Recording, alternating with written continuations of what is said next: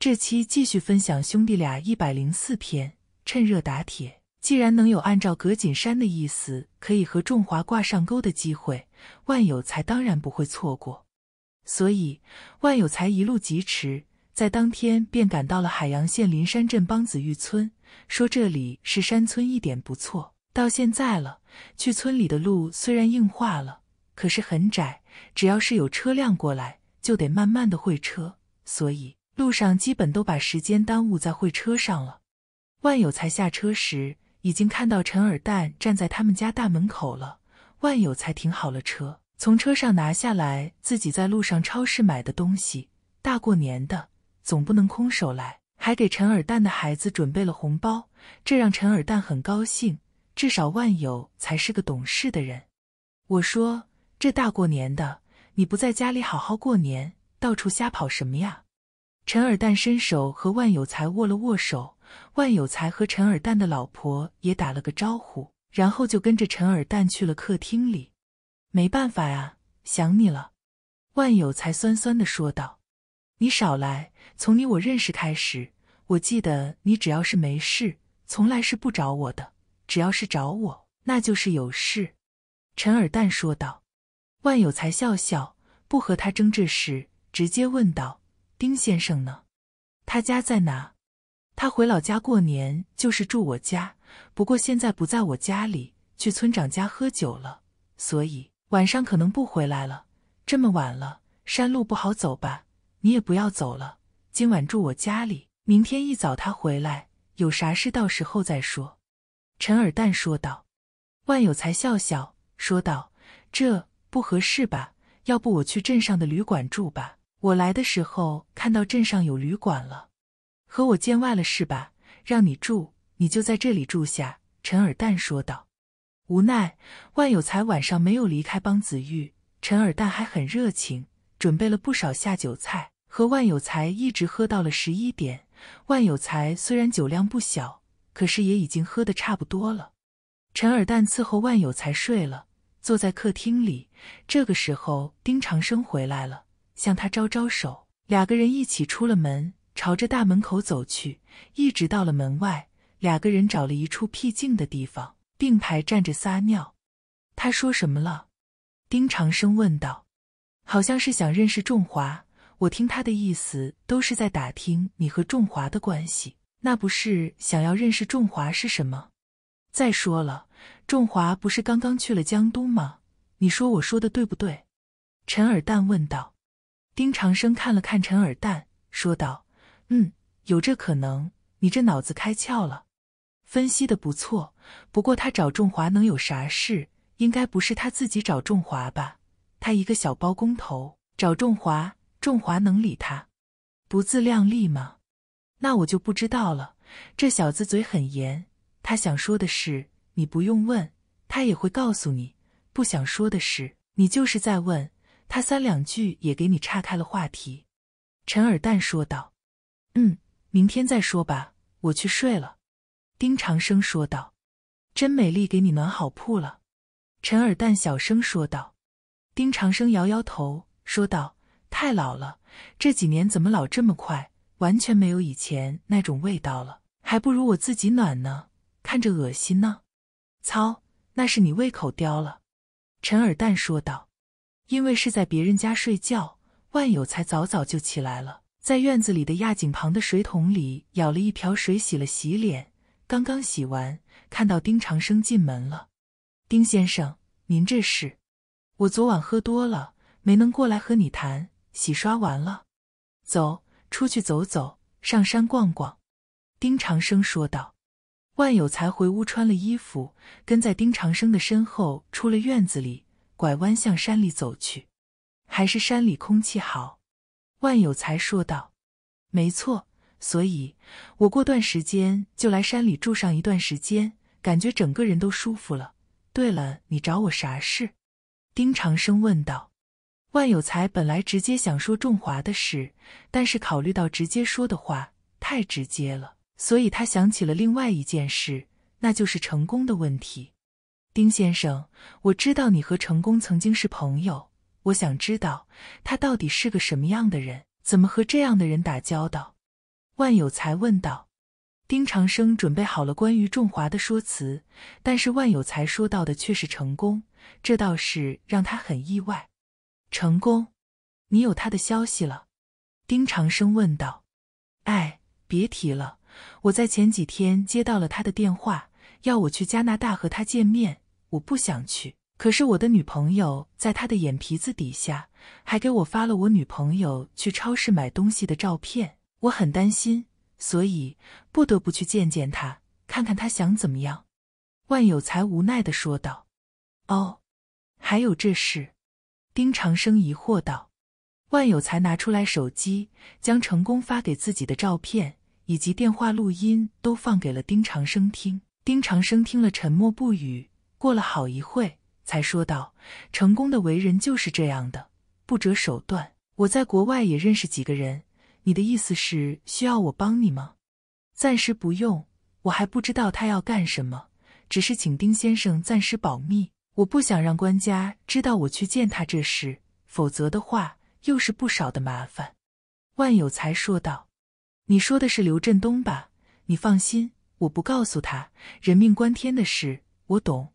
况且来说，就算是他知道了，跟着你去了国外也无济于事，那里毕竟是国外。”不是我们可以执法抓人的地方，丁长生说道。是啊，我现在担心的就是刘局再给我加码，我可是完不成他的任务。万有才苦笑道。不过话说回来了，他找你会有什么事呢？报复你？丁长生问道。这我不清楚，什么事都是有可能的。对了，前几天左建东给他妹妹左茶雨打过电话。说自己正在面临追杀，从那之后就再无消息了。我也怀疑就是成功找人干的。要真是这样的话，我去加拿大还真是危险重重啊！万有才说道。又不能不去，对，不能不去。我总不能把我自己惹的事不管不问，连累到我的女朋友吧？万有才说道。那需要不需要我给成功打个电话，提醒他一句？别什么事都做绝了，丁长生问道。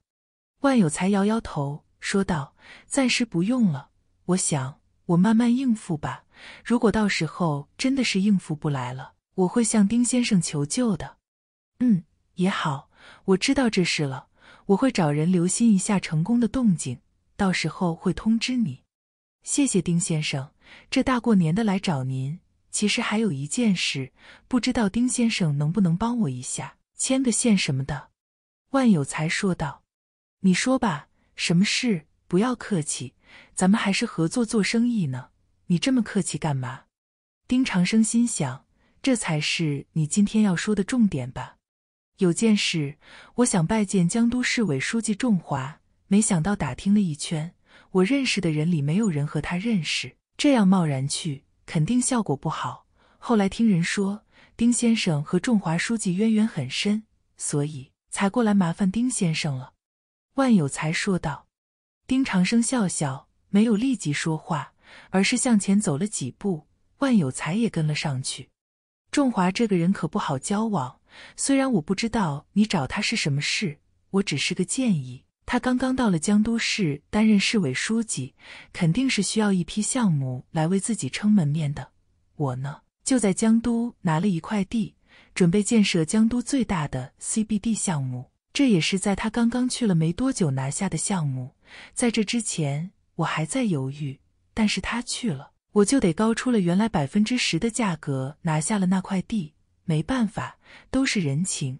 所以我的建议是。你要是想求他办一件小事，那就不用找他了，再找找其他人送点东西，这事也就办了。天下没有不通的路，也不会有没有任何关系的人。多找几个人，拐拐弯，总能搭上关系。你说呢？丁长生笑着问万有才道。万有才点点头，没说话。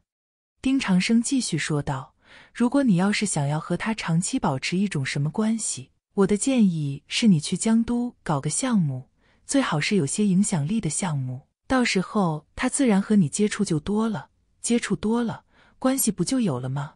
所以这就要看你是想要那种一锤子买卖的关系，还是想保持长久的关系。这就看你的需要了。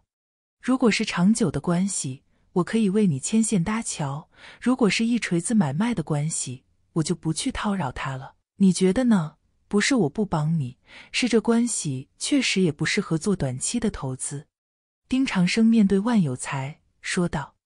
万有才点点头，说道：“我明白了，我回去好好想想，想明白了，我再来找丁先生。”丁长生点点头，说道：“不是我为难你，我知道你以前是干什么的，所以有些事你还得好好前后认真的考虑一下。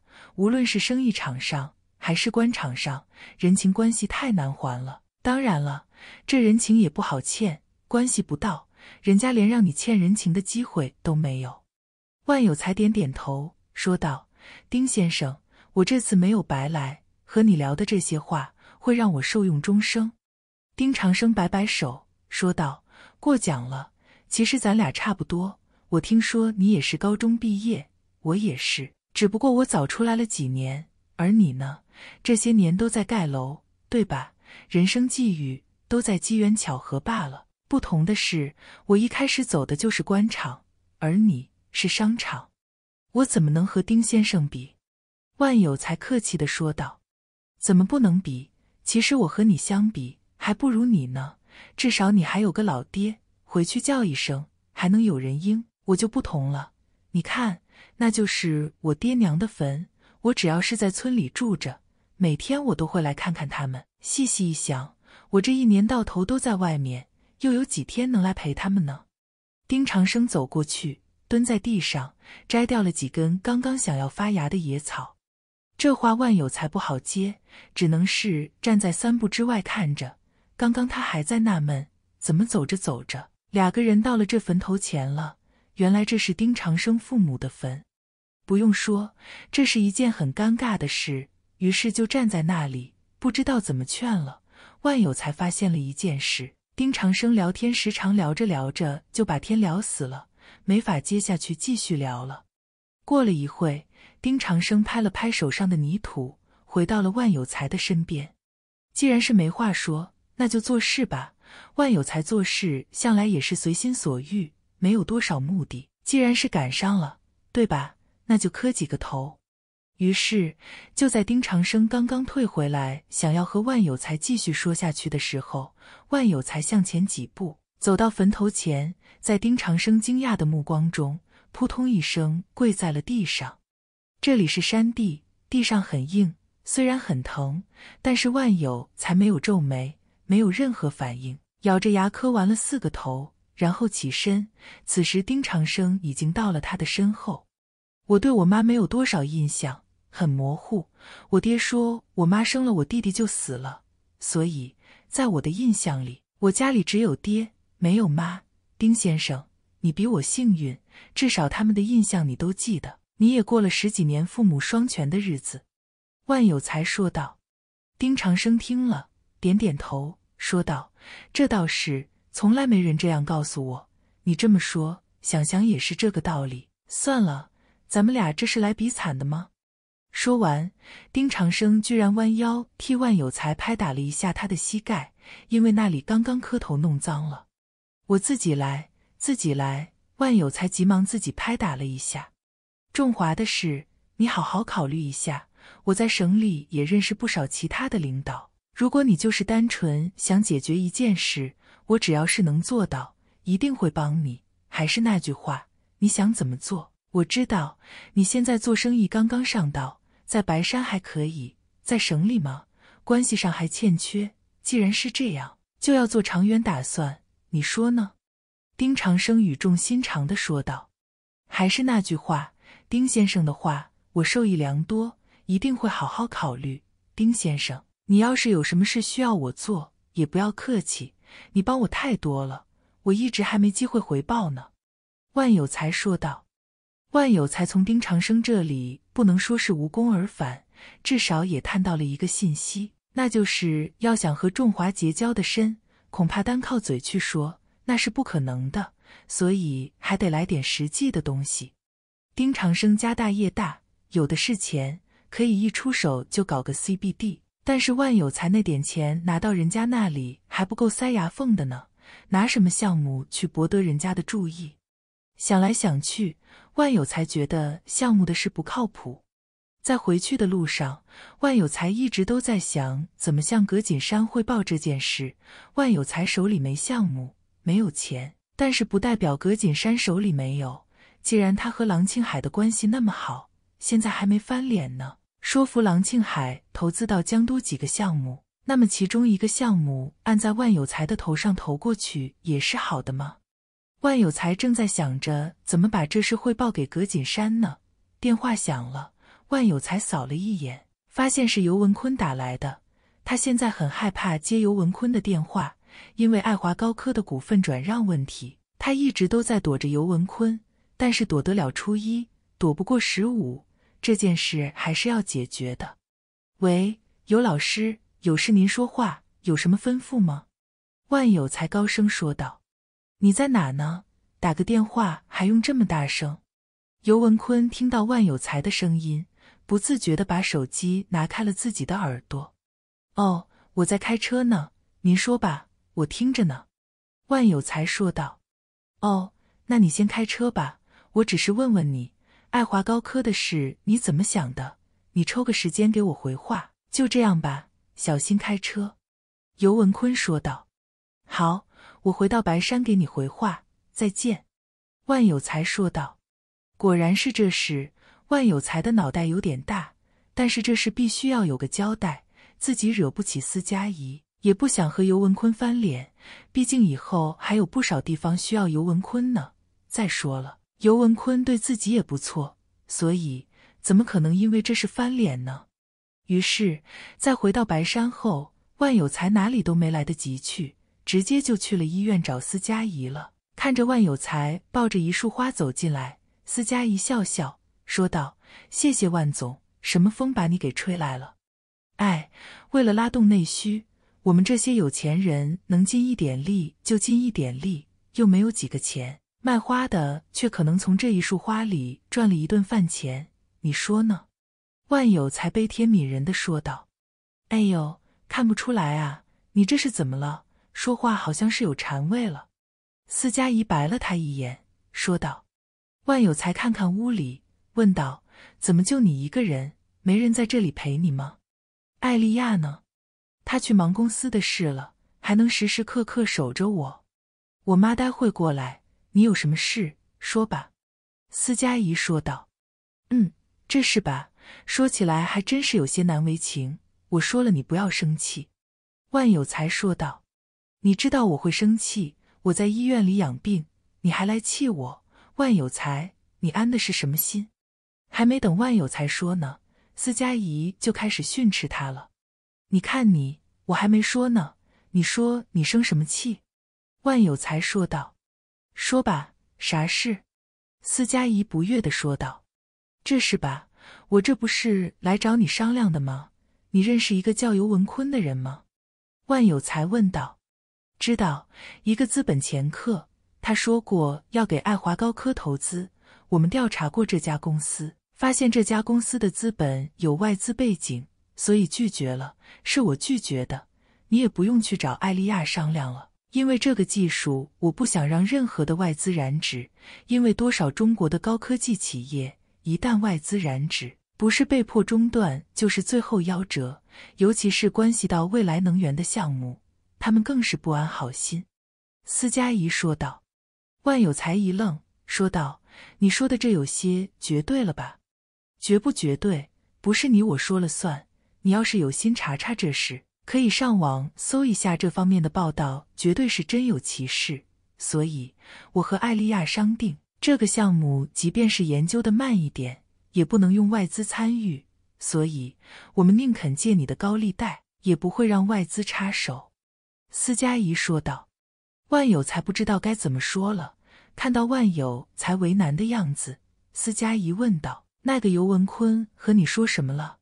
他当时说到这个项目，也知道我参股了，所以你们内部不是铁板一块，很可能有他的商业间谍，连我的股份额度都很清楚。他想要从我手里买走这些股份，我说你们有优先受让权，但是他吃定了你们没钱了，所以才说这笔投资他一定能买到，只要是我肯卖。”万有才说道。“你答应了？”司佳怡柳眉倒竖，怒道：“我还没答应，这不是来找你商议的吗？我和他的关系也不错，帮了我不少，所以咱们想个万全的办法，既不要让我得罪他，也不要这股份从我手里卖出去，这样大家都好看吗？”万有才说道：“你是怎么想的？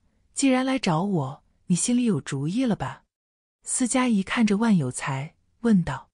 万有才点点头，说道：“我的意思是，你最好是召开一个公司各部门负责人的会议。我想，如果这些人里有尤文坤的人，那么这个人一定级别不低，至少是知道公司股份的分配问题的，对吧？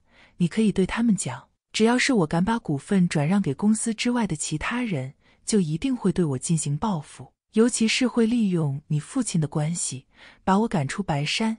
这样一来，我的大部分生意都在白山呢，所以我就不得不继续投资爱华高科。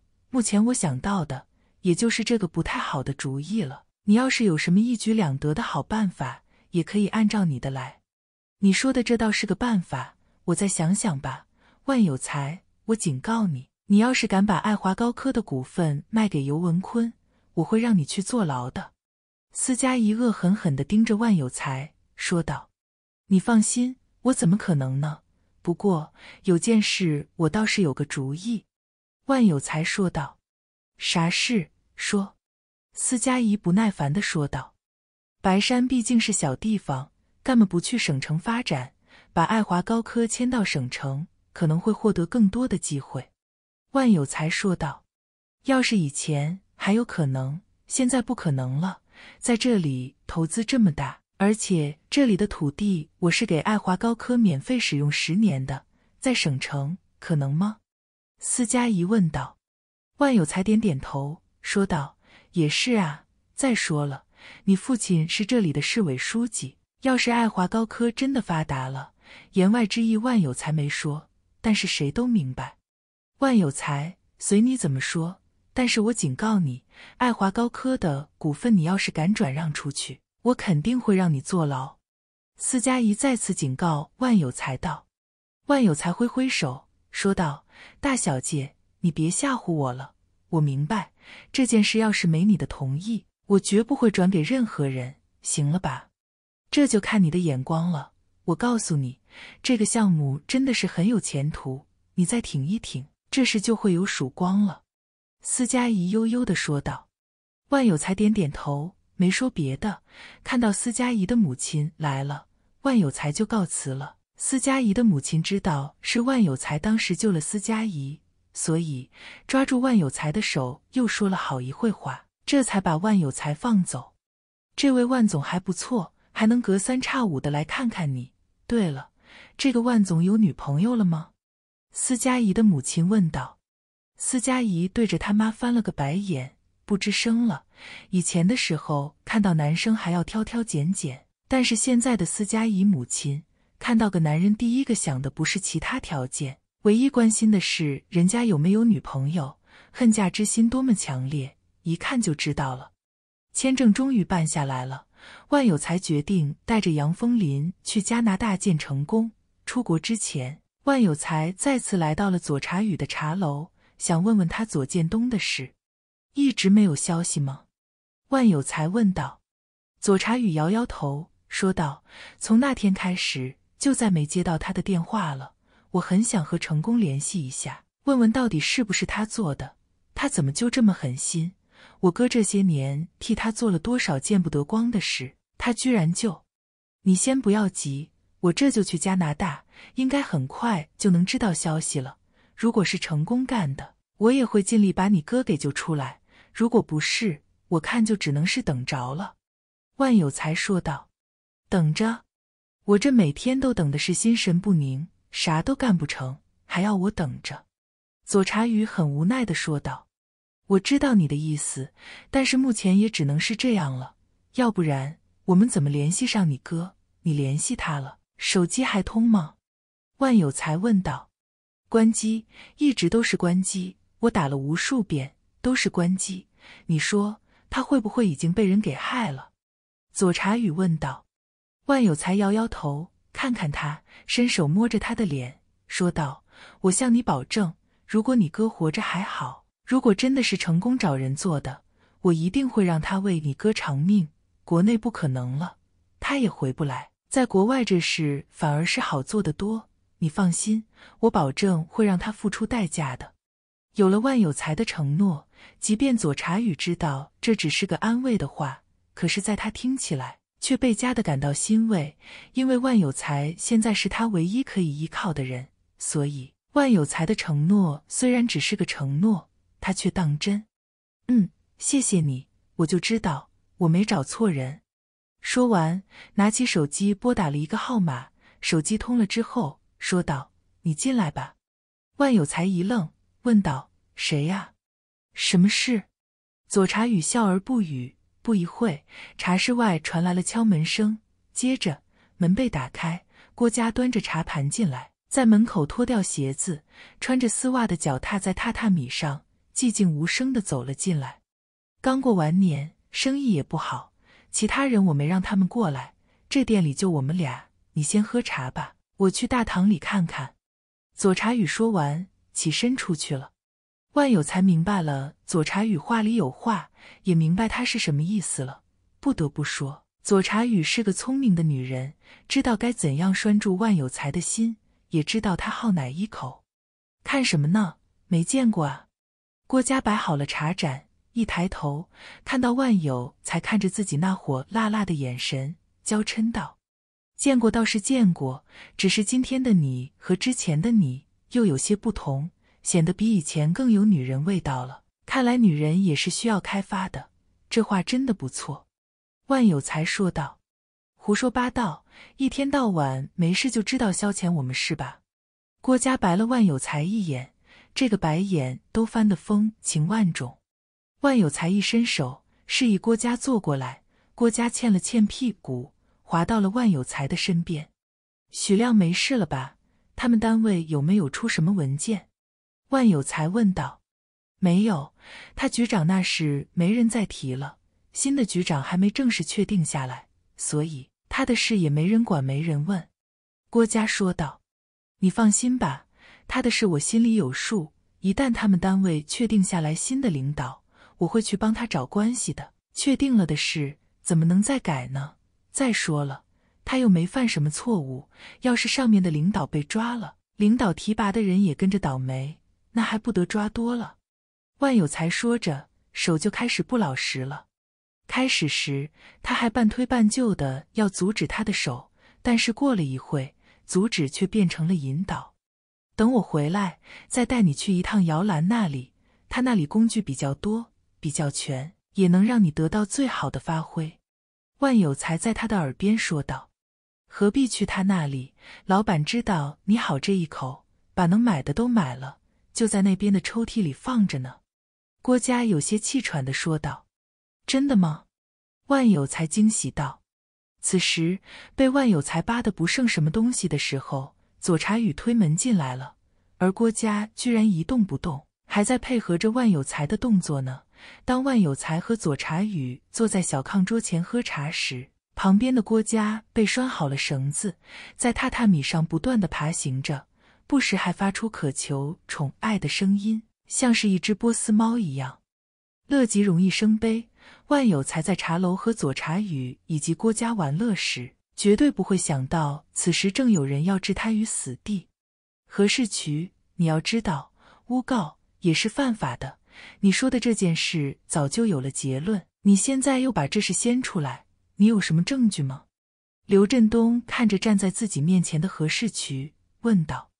证据当然有，我找到了一个证人，他可以证明我说的话。”何世渠信誓旦旦的说道。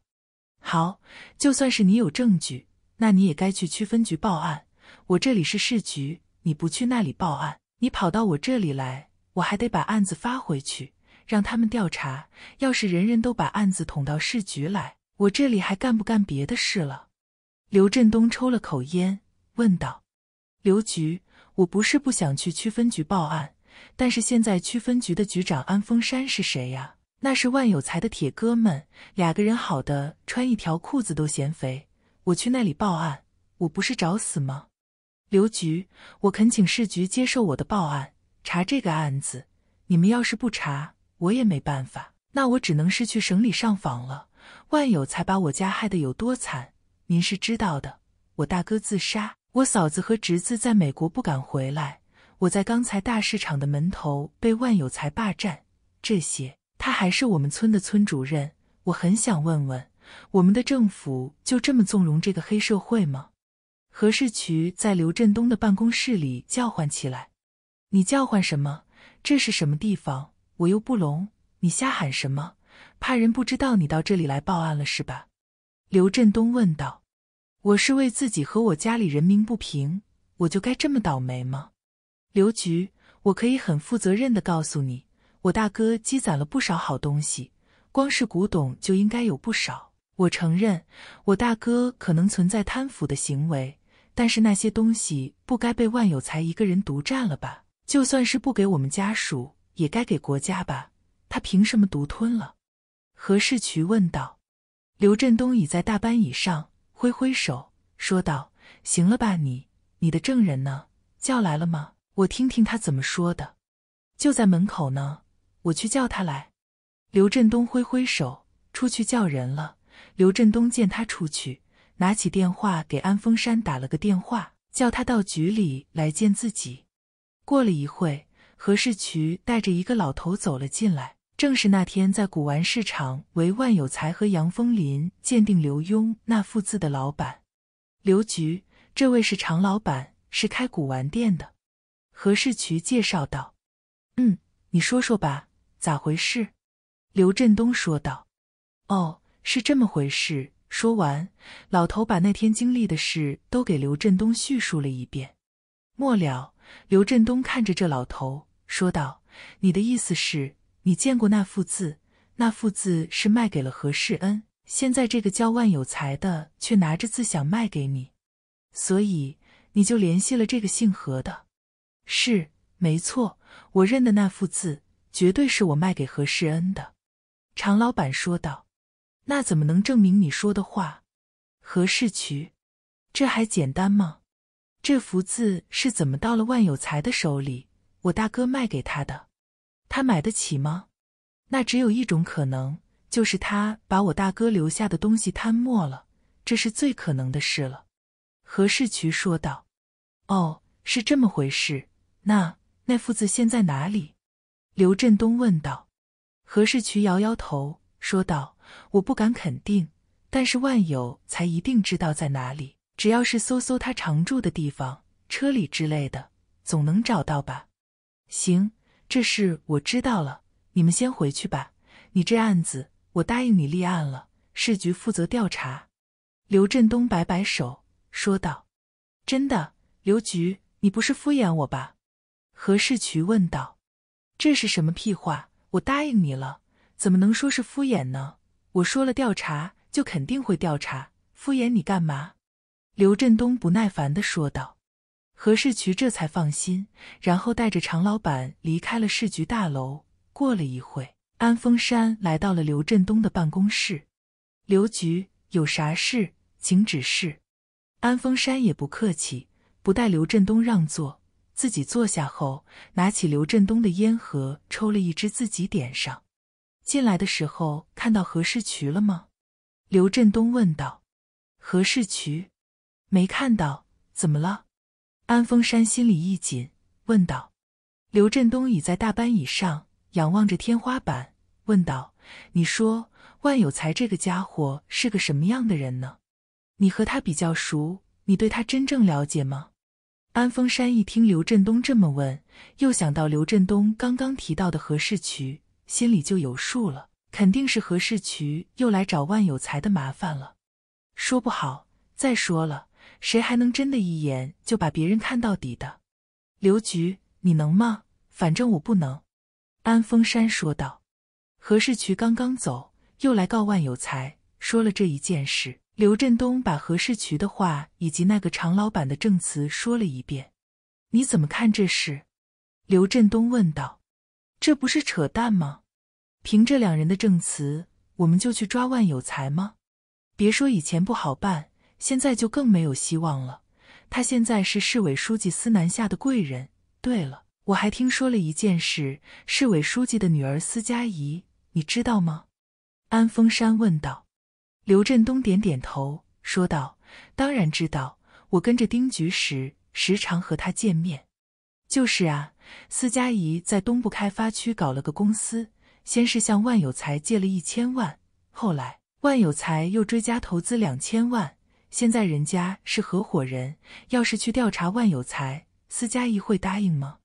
还有李玉堂那里，可以说现在要想找万有才的麻烦。”我们真的要好好掂量一下，不然的话，处处是雷。”安峰山说道。“你的意思是，我们动不得他了？”刘振东皱眉问道。“不是动不得，是没有证据。我觉得吧，单凭这两个人的胡扯淡，想要让万有才配合很难。”安峰山说道。“他要是能配合，我还找你来干啥？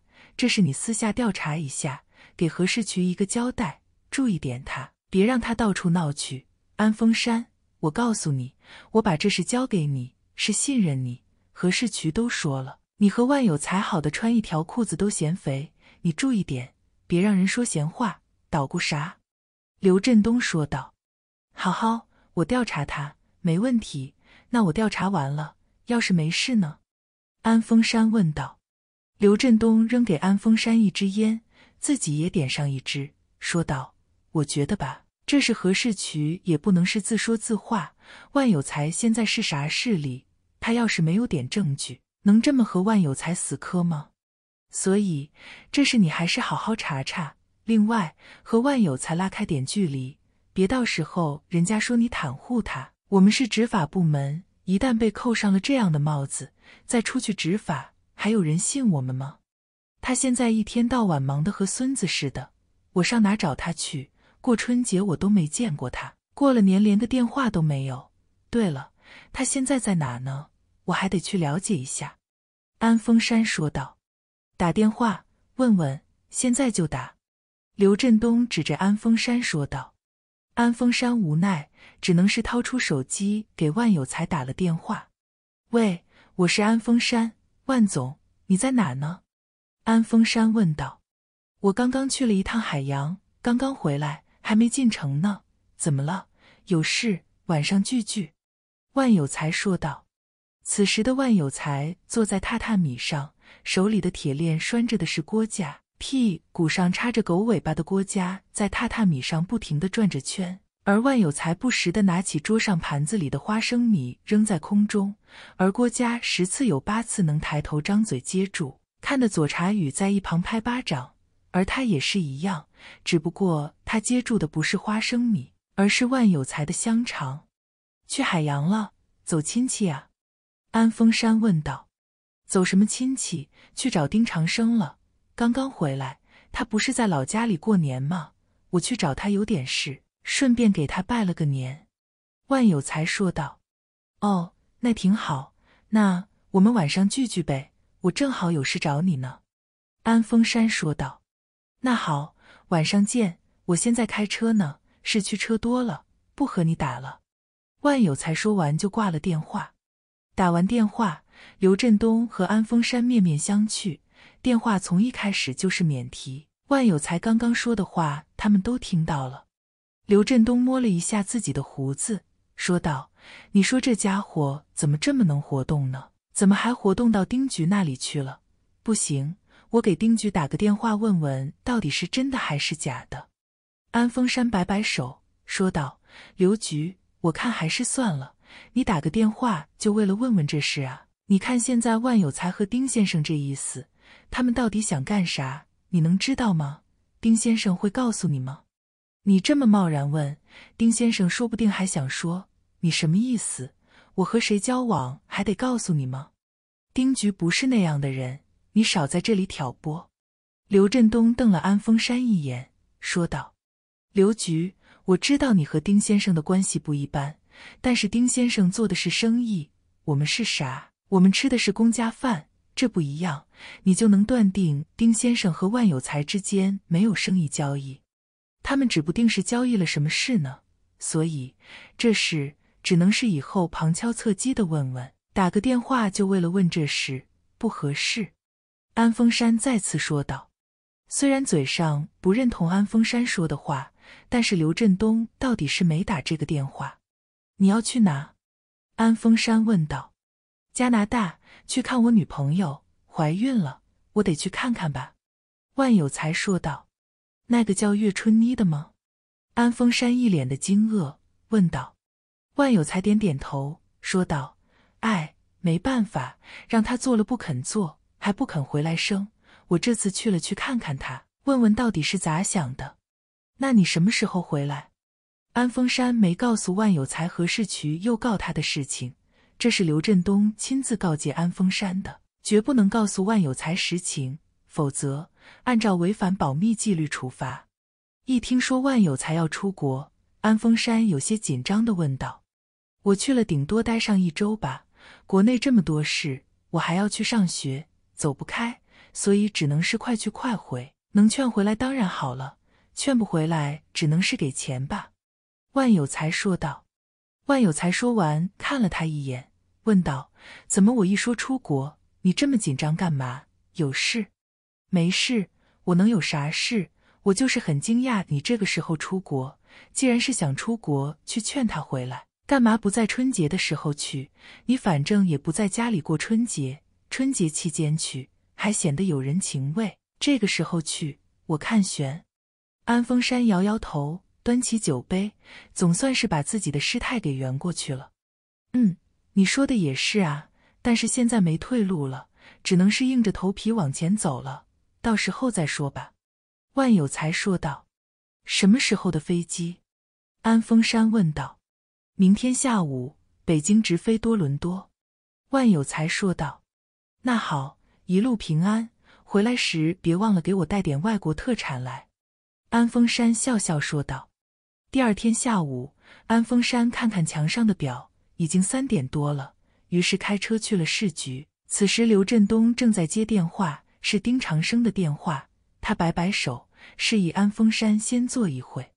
好，丁局，我知道了，到时候再见吧。刘振东说完，挂了电话。你什么事？刘振东问道。万有才出国了，我也是刚刚得到消息。安峰山说道。出国了？什么时候走的？刘振东一愣，问道。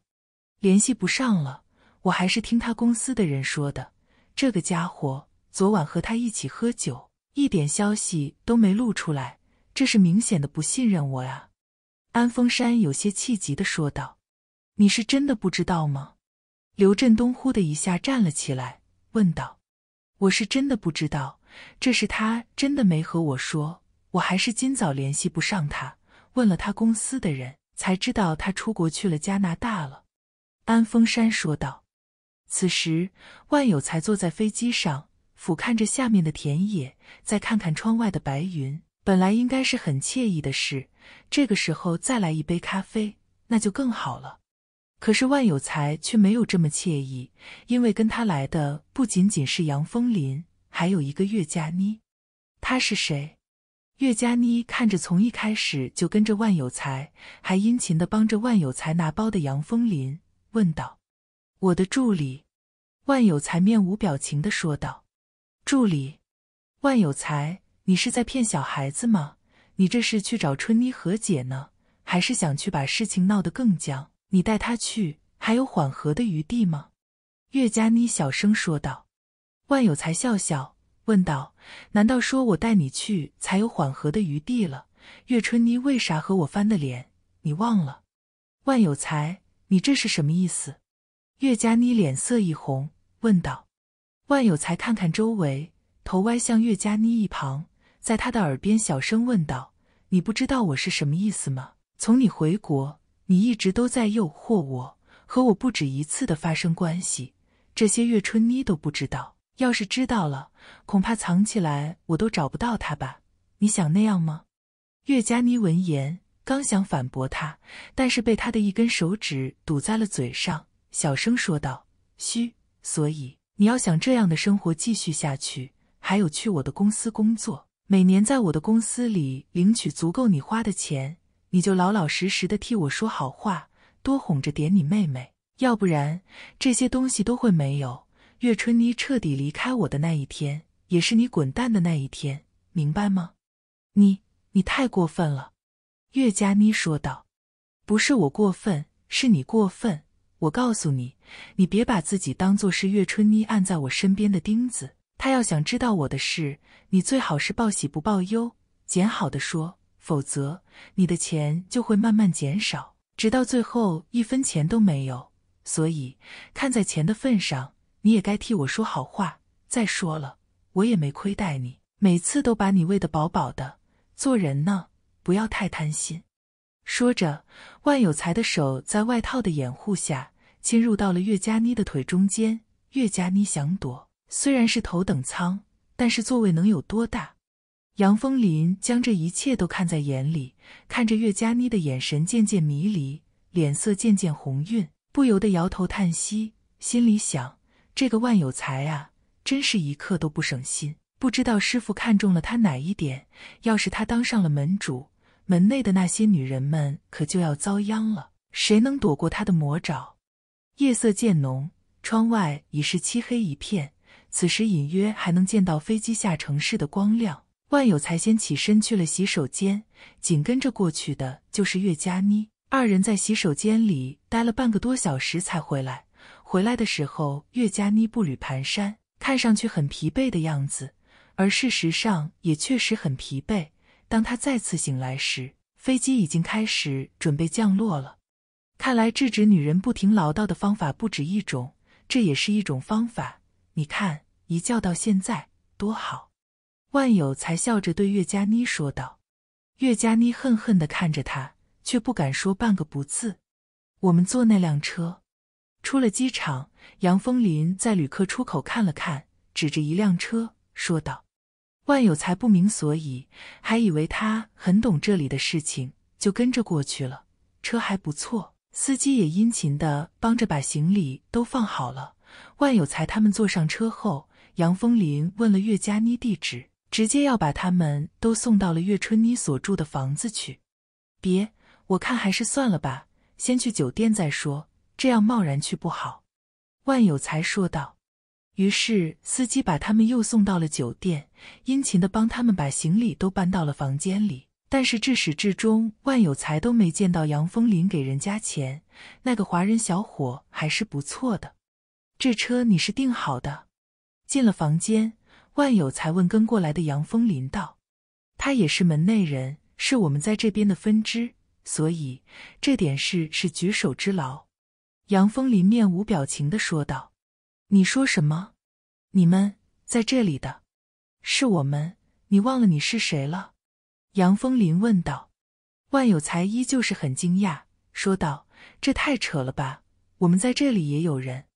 那你的意思是我们在全世界都有人呗？也不是，有的地方也没有人。”杨风林说道：“哪里？南极就没有？”杨风林翻了下一白眼，笑道：“扯淡！不过这就好了。来的时候我一直都在担心成功，这家伙不定性，我怕他在暗算我，那就惨了。所以我找你来，你能打是吧？到时候保护我没问题吧？”万有才问道。杨风林看了看他，说道：“你是个爷们吗？不说保护女人，还得指望女人保护你。”是爷们也得分在什么地方，在床上是爷们，但是打架不行。术业有专攻嘛。对了，让人送岳佳妮回去，别让她住这里了，省一个人的钱。”万有才说道。这话直接让杨风林开眼了。万有才这么大一老板，居然心疼这点钱，无奈出去找司机和岳佳妮去了，送她回去住。你回去再顺便做做岳春妮的工作。我明天去看你们，万有才说道。怎么，嫌我碍眼了？岳佳妮看看杨风林，再看看万有才，说道：“不是这么回事，你去劝劝他，免得我去了见他时再引起什么误会。她怀着孕呢，万一出事，你我不都要后悔一辈子？”万有才说道。岳佳妮见万有才这么说，才没有再争执。想想也是这么回事。万有才一直把他送到了楼下的车上，这才松了一口气。你好像很怕那个岳春妮。杨风林一边帮着万有才收拾东西，问道：“和你有什么关系？来的人就那个司机吗？这酒店里是不是也住着保护我们的人？”万有才问道。杨风林看看他，问道：“你就这么怕死吗？”“废话，我的好日子刚刚开始，我可不想现在就死。”万有才说道：“喂，我是万有才，我到多伦多了，什么时候见面？”万有才给成功打了个电话，问道：“你住哪家酒店？还是住在家里了？”成功问道：“我在酒店呢，你什么时候过来？”万有才问道：“不急，我在等一个消息，消息到了，我会联系你的，到时候再说。”成功说道。我希望尽快见面。我在这里不会待很久，国内事很多。你在国内是没事了，我可忙着呢。”万有才说道。“你说这话是想激怒我吗？告诉你，你不用这么做。我已经很愤怒了，管好自己的嘴。下一次再这么和我说话，我不敢保证你还能带着自己的蛇回国。”成功说完，愤怒的挂了电话。万有才看了看桌子上的电话，再看看杨风林，说道：“我的蛇能不能跟我回国，就看你们的了。”杨风林看看万有才，说道：“虽然我们这边也有人，你也用不着到处树敌吧？我们是来解决问题的，还是来惹事的？”万有才笑笑，起身去了洗手间，在飞机上和岳佳妮胡天黑地的坐了一次，身上很不舒服。此时想着赶快洗个澡最好。坐在浴缸里，万有才舒服的躺在水里。但是忽然间，他想到了一件事：葛锦山和王丽娃都警告过他，刚刚喝了七便汤。这一个月是自己的小蝌蚪最活跃的时候。自己在上飞机之前一直都是洁身自好，就连和左茶与郭嘉在一起时，自己都忍着了。但是到了飞机上，却没有忍住，居然和岳佳妮搞了一次。操！这是没有那么巧吧？万有才嘟嚷道：“你要什么东西？”杨风林推门进来了，看到万有才躺在水里，问道：“万有才看看他，说道：‘你这么明目张胆的占我便宜好吗？该看的都被你看光了，怎么着还不想走？’”杨风林脸色一红，说道：“我不是听到你说话吗？我以为你要什么东西呢。”万有才白了他一眼。杨风林不得不退出了浴室，心里却在噗噗的跳得厉害。刚刚看到了万有才的全部，尤其是看到他的在水里的体量，没想到会那么大。其实他犯了一个视觉的错误，把一根筷子放到杯子里，细细的一根筷子就会显得很粗，这是折射的道理。可是此刻的杨风林却忘记了这个科学原理，在他的眼里就是那么大。成功品着鲜血般的葡萄酒，不时的看一眼手机。终于等到手机响起来的时候，他将酒杯放到了桌案上，接通手机。怎么样？成功问道。老板抓到了，这家伙跑到了乌克兰，想要从陆路回国。好歹是抓到了，这里现在乱得很，死个把人是没人注意的。要不要？不，先等等，你们在那里等着，弄好网络。明天我见万有才，这是个很好的筹码，必须要利用得当。”成功说道。“那好，老板，我明白了。”此时，田桂如穿着睡衣从楼上下来，听到了成功的只言片语，睡眼惺忪的问道：“你爸的事吗？怎么样了？”“妈，我爸的事，现在我是没办法了，该用的关系我都用了，就连文继军父子那里，我也联系了。”但是他们好像都放弃救我爸了，这样的人靠不住，所以我在想，既然在行政上找不到关系了，我再找其他的关系，看看法官那里能不能有门路。要是能找到门路，哪怕是少判一年，那也是好的。成功无奈的说道：“法法官，你现在又不能回国，我们上哪找这关系去？对了，那个杨成安怎么样了？他能帮上我们吗？”田桂如说道：“成功摇摇头，说道：‘国内的消息说，杨承安也被双规了，指望不上。我再找别的关系。这不，国内来人了。这个人要是利用的好，很可能会帮到我们。现在最关键的是，我爸的事是我爸的事，不要牵连到我们，不要让中国那些反贪反腐的人再揪住我们不放。一切事情到我爸那里就为止了，这是最好。不然的话，我们这辈子不但是哪里也去不了，麻烦也会随之而来。我们这辈子都难得安宁了。成功仰起头，看着天花板上垂下来的水晶灯，悠悠的说道：“可是这这能行吗？他们能算完？要不然我们再去别的地方吧，把这里先卖了，还是带着现金最重要。”手里没钱可不行，田桂如说道。此时，田桂如坐在成功的身边，摸着儿子的头，说道：“有件事他一直没有说，也不忍说。从成功到加拿大来的这段时间，他在自己儿子的头上发现了不少的白头发了。他知道那是愁的。想想这些，当娘的心里能好受吗？更不要说自己老公还在看守所里待着呢。我明天去见这个人。”到时候再说，行不行？明天见了面就知道了。成功抓住田桂如的手，在自己脸上说道：“妈，你不用担心，我们都有绿卡，在这里是受法律保护的。我现在最担心的是那些法律之外的事。”啥啥事啊？田桂如问道。成功笑笑说道：“没事，妈，有我呢，你放心吧，没事。”岳佳妮到了门口，看到房子里有人影在来回走动，敲敲门。开门的是月桂兰。咦，你怎么回来了？就你自己回来的？月桂兰问道。不然还有谁？岳佳妮说道。那混小子没来？月桂兰小声问道。来了，没赶来，在酒店里住着呢。让我先回来探探口风，要是他的情绪好点，就来见见。你再和他说说，别这么倔了。”岳佳妮小声说道。“姐，你怎么回来了？这都过完年了，你还来干啥？”岳春妮的肚子都有些显怀了。“想你啊，想爸妈呀，我回来了。”岳佳妮大声招呼道。他父母也出来了，围住他问家里的情况。岳桂兰也问了问李玉堂的情况。“哎，我姑父在家里过得和狗差不多。”都是万有才时不时去看看他，这不来的时候我才听说征市长的位置没争上，在家里生闷气呢。岳佳妮说道：“当不上就当不上吧，现在不是挺好的吗？我有时间打个电话说说他。”岳桂兰说道。岳佳妮和他父母说了一会话后，被岳桂兰叫去厨房帮忙了。万有才来，这干啥来了？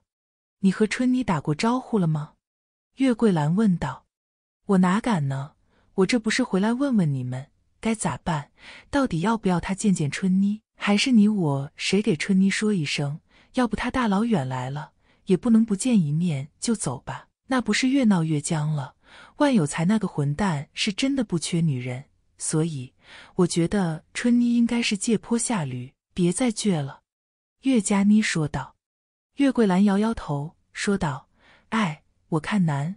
对了，你爸妈嚷着要回去呢，机票都买好了。你是要一起回去吗？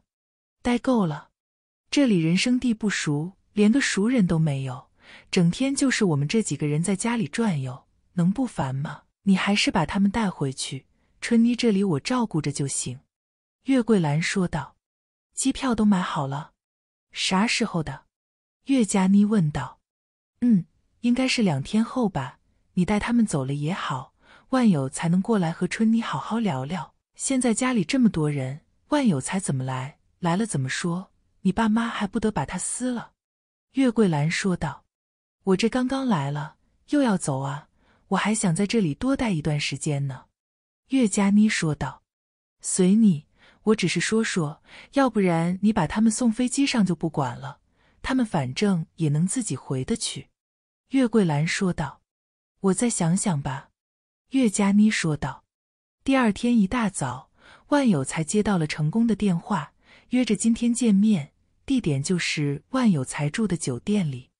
万有才接了电话就开始起床，给隔壁的杨风林打电话，让他也起来准备一下。不过等到成功来了，万有才才发现是他一个人。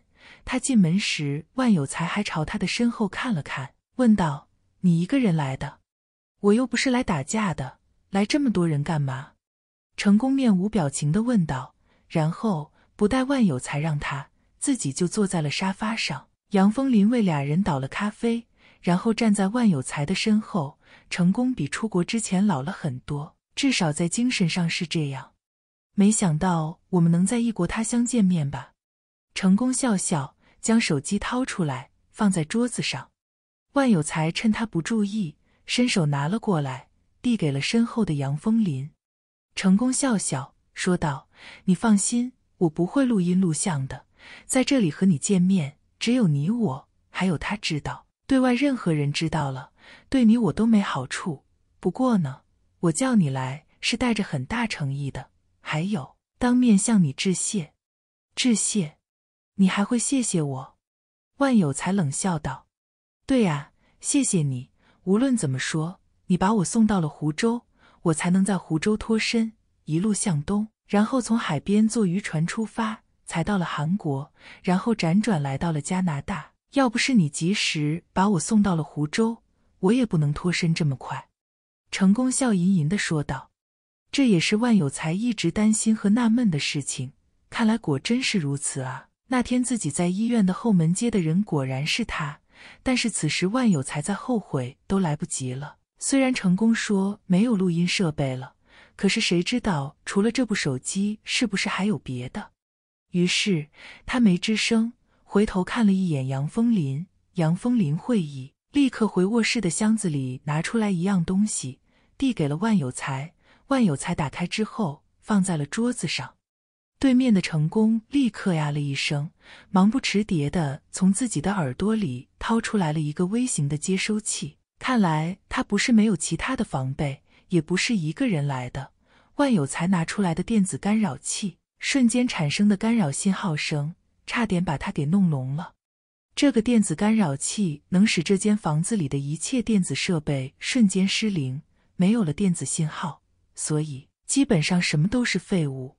成功，我万里迢迢的来见你，我还以为你有多坦荡，会和我坦诚的交流，至少我觉得我们还有很多事可以交流看法呢。没想到你这么不坦诚，那也好，你走吧，咱们没什么可谈的了。万有才冷冷的说道。这个电子干扰器是人社局的局长侯振邦送给万有才的，所以这次是真的派上用场了。不是什么人都可以搜身的，这就很好。无论你带着什么电子设备，瞬间失灵。成功捂着还在嗡嗡响的耳朵，恶狠狠地瞪了万有才一眼，说道：“我没有想对你怎么样，但是我也得为自己的安全考虑一下吧。我哪知道你是不是带着别人来抓我的？”我吃饱了撑的，成功。这么说吧，你愿意谈，咱就谈；不愿意谈，咱就算了。我把那两个女人接走，你爱怎么样随你。”万有才说道。万有才说完这番话，看着成功。过了一会，成功抠了抠耳朵，说道：“万有才，你行。看来你这么快就混到这个地步，也不完全是走了狗屎运，也是有一定道理的。你少废话吧。”我忙着呢，没时间听你在这里瞎侃，该说什么说什么吧。”万有才说道。成功看了一眼杨风林，说道：“我不知道这娘们和你什么关系，但是接下来我想说的是，我想和你单独说，不想让第二个人知道，包括他。”万有才看了一眼杨风林，示意他出去等着，但是杨风林却走向了成功，说道：“站起来。”成功愣神的功夫。被杨风林一下子从沙发上拉了起来，上上下下搜了一遍。杨风林回头对万有才说道：“没有武器，我就在门外等着，有什么事叫我。”说完，杨风林出去把门了。成功愣了一下，重新坐回了沙发，说道：“行啊，万有才，还找这么个保镖来？嗯，比我那俩个家伙强多了，整天就知道打打杀杀，结果怎么样？”死了一个，不过另外一个嘛，还算是幸运。对了，他最近也有些收获，你要不要看看他的成果？什么意思？万有才不解的问道。你把这玩意关了，否则没信号。你放心，除了这个耳机，我身上再没有其他的电子设备了。成功说道。万有才拿起那个电子干扰器关掉，而成功则是拿起了他的手机，拨通了出去。不一会，对方就有回应了，是微信的视频聊天。喂，看得到我吗？成功问道。老板，看得到，很清晰，声音也很清晰，信号很好。那好，把你抓到的那家伙带过来，和我视频一下。这里有个买家，看看他能出什么价钱。如果价钱合适，我们就卖了；如果价钱不合适，你找个地方埋了就是。”成功说道。“是，老板。”万有才有种不妙的感觉，但是却无可奈何。眼看着成功在操作手机，他没吱声。在自己没把握的情况下，自己还是少吱声，免得被他录音录像，然后再威胁自己。不一会，那边又有了新的动静。老板。人带来了，此时成功操作了一下手机，然后把手机递向了万有才。万有才接过来一看，我靠，左建东，居然是左建东！虽然被打得和猪头似的，可是他依然能认出来是左建东。救我，万有才，救我！左建东被人抓着头发，但是他看到手里的人是万有才，还是发出了求救的声音。妈的，老实点！不让你说话就别说话，明白没？就在左建东和万有才被迫视频时，被人一巴掌打在了脸上。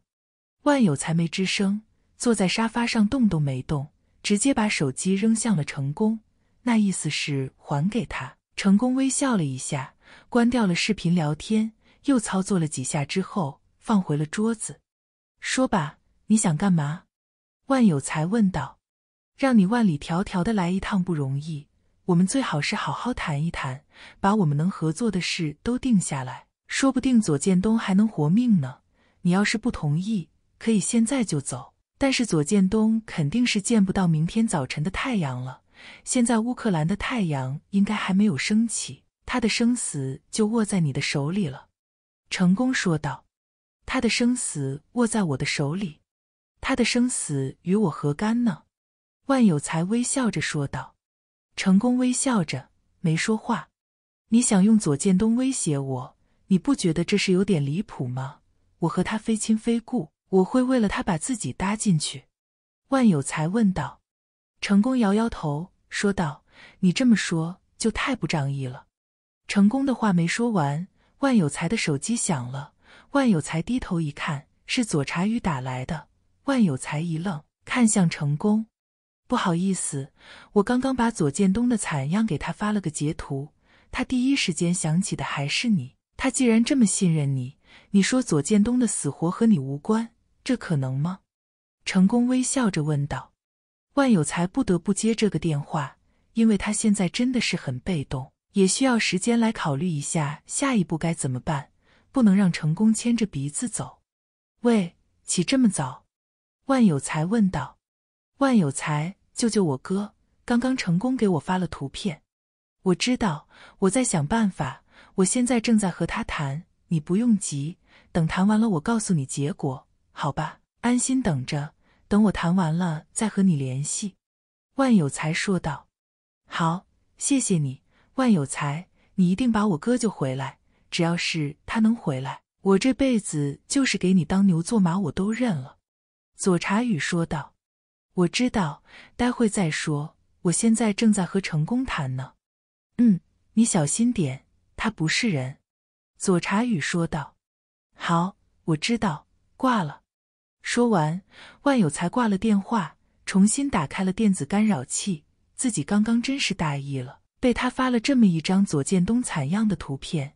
如果没发，左茶宇怎么会知道左建东现在的处境？自己完全可以不顾左建东的死活，那样自己和成功谈也不用顾忌太多。但是现在就不得不考虑左建东的死活了，不然的话，左茶宇会恨死自己。此时此刻的左茶宇，万有才估计他现在早已失去了理智，恐怕是什么条件都会答应了。只要是左建东能回去，左建东非死不可是吧？万有才问道。那也未必，还是那句话，左建东的死活在你手里，就看你的选择了。你想让他生，他肯定活着。成功没说完，就被万有才打断了。成功，别胡扯淡了，你以为我是小孩吗？左建东知道你那么多的秘密，你会让他继续活着？左建东去乌克兰是想回国吗？如果是，那他回国后对你可是有百害而无一利。我不信你会让他活着回去。即便是他不回去，国内的那些人早晚也会找到他。所以无论何时，只要是他回去，对你都是不利的。我真的不信你会放了他。”万有才说道。“我说了，那就看咱们的合作是不是顺利了。如果咱们的合作顺利，左建东可以活，我保证不会杀他。”成功说道。万有才看着成功，愣了一会，说道：“看来你准备这一天很久了吧？你和我做交易合作，怕是会让你失望。我没有多大的本事，恐怕帮不了你。”成功盯着万有才，过了一会，才说道：“左查宇对你死心塌地，要是左建东死了。”左查宇会恨你入骨，除非你对他没有那意思了。再说了，你不和我合作，我可能会告诉刘振东我是怎么逃出来的。你把我送到了湖州，这时他们也会知道。到时候你怎么解释？万有才心里那个恼火，自己这次是彻底被谭国刚那个混蛋给坑了，而且还坑得这么惨。此时再想说别的都不管用了，谭国刚已经死了。难道回去找谭凌宇算账？你想和我合作什么事？万有才问道。我们能合作的事很多，只要价钱合适，我甚至可以委托你把我国内的那一摊接管起来，怎么样？我够大方吧？成功说道。哈哈哈哈！万有才听了大笑起来，最后笑的眼泪都出来了。